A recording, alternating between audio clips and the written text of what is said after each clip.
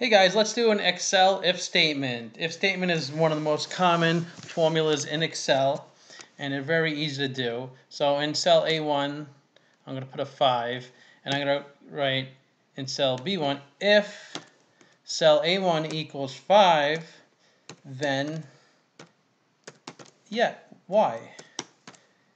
Else N. And that's my if statement. And it gave me the Y because there's a 5 there. Now if there was a 4 day, 4 there, it would say N for no. You could also use words.